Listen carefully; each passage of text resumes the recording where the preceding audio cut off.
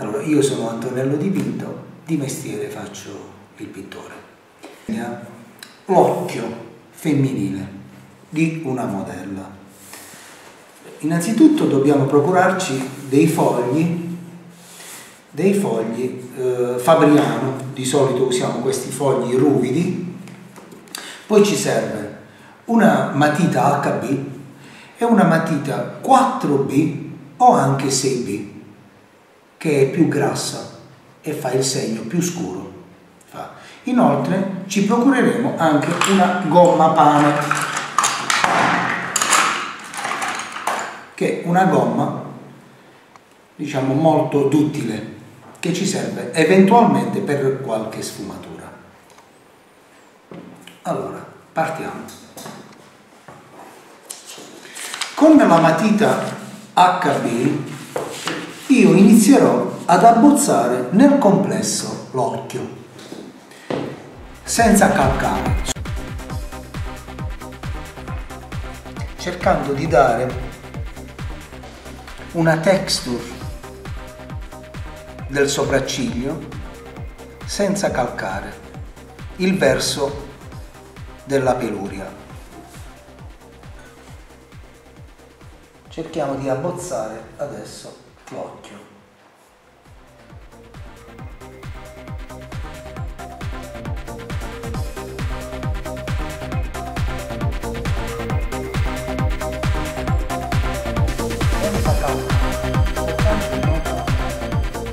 Questo caso la modella ci mette in difficoltà perché ha l'occhio truccato.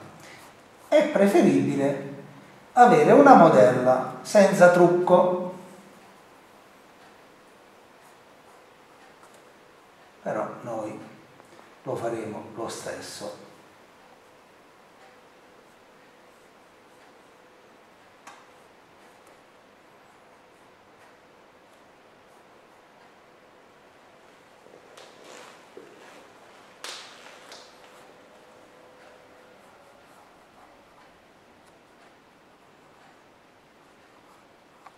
Abbozzare, cercheremo di abbozzare le parti anatomiche la fossa lacrimale, la pupilla, la palpebra.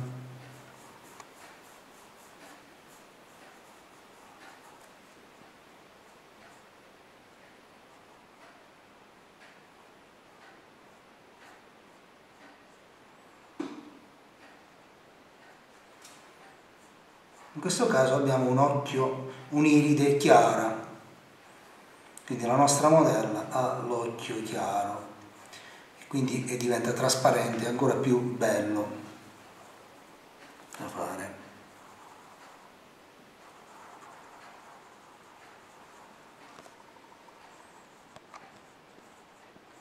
Ora andiamo ad insistere sui tratti. Una volta che ci siamo resi conto che l'occhio ci sembra ben abbozzato, andiamo ad insistere sui tratti e quindi anche sulle sfumature eventuali. Non mi piace usare dita eh, per fare lo sfumato, è preferibile usare lo sfumato con la matita stessa, sempre 4B, leggera.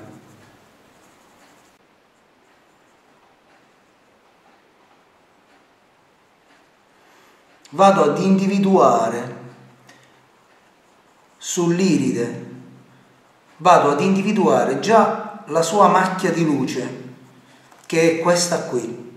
Abbiamo due motivi di luce, cioè, noi ce li andremo ad individuare e io l'ho ricavata qui e andiamo avanti, cercando di dare trasparenza, perché il gioco delle ombre c'è anche sulla pupilla, anche sull'iride, c'è, basta cercarlo. Anche nella pupilla c'è il gioco delle ombre. Ci sarà una parte più in ombra, che è questa qui.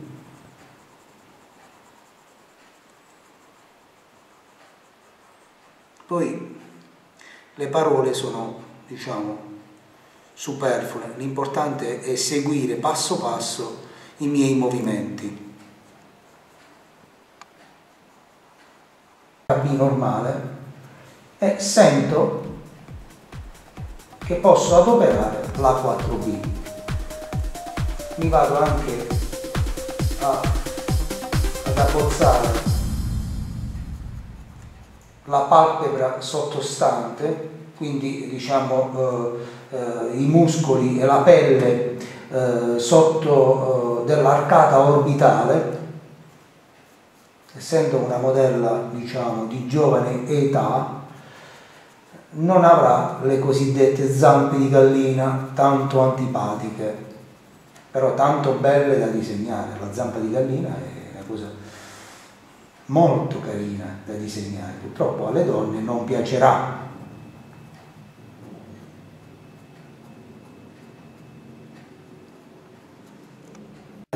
HB, dopo aver abbozzato l'occhio, prendiamo una matita più consistente, più tenera, più grassa. In questo caso abbiamo una 4B.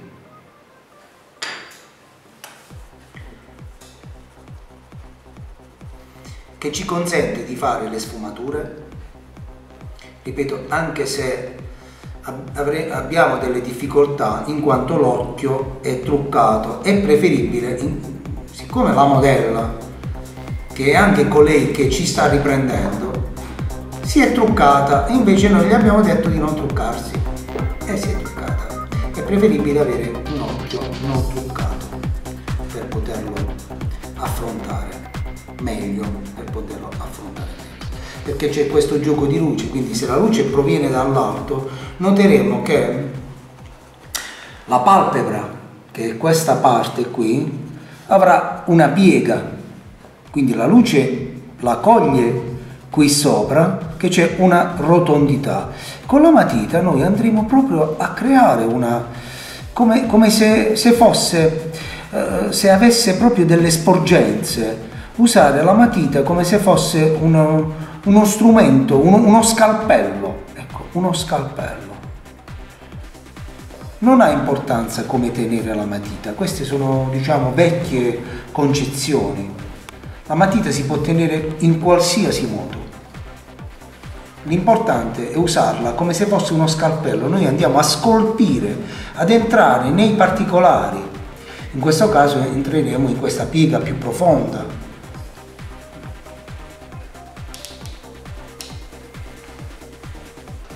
Qui poi inizia il naso che lo affronteremo successivamente. Ora, le ciglia. È diciamo antipatico fare le ciglia perché facendo le ciglia l'artista cade sempre in un certo accademismo. Diventa antipatico andare a mimare proprio il senso delle sopracciglia. Io vedo in giro un po' di gente che si accinge a fare questo tipo di, di pratica, di fare proprio la sopracciglia. È antipatico. L'occhio umano, il mio occhio, non percepisce la sopracciglia come filamenti, ma le percepisce come macchie. Allora io farò così. Insisto sull'iride perché c'è questa parte scura, io me la vado a fare.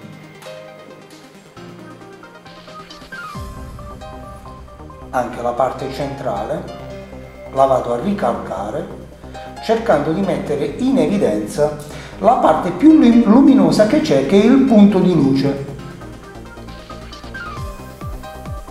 questo è il punto di luce.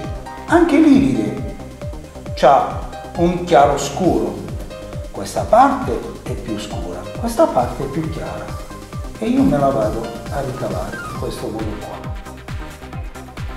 Cambio ancora la matita e prendo l'HB per fare queste ombre. Non è vero che è bianco quest'occhio, questo è bianco, il puntino è bianco, questa parte non è bianca e quindi io vado a sfumarla.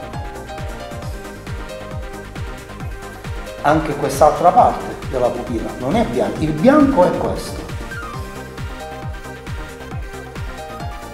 Se noi riusciamo ad osservare bene la realtà, ci ritroveremo a fare eh, delle cose quanto più simili a ciò che l'occhio percepisce. Insisto ancora con l'HD. Questi qui, la luce batte sia qua che qua. E poi qua sotto avrò la parte dell'arcata eh, sottoorbitale del, del muscolo sottoorbitale. Questa è la fossa lacrimale che io me la vado ancora.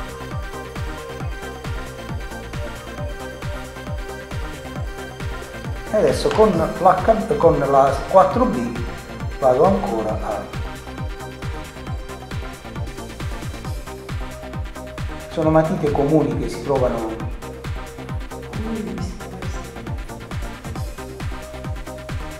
negozi specializzati.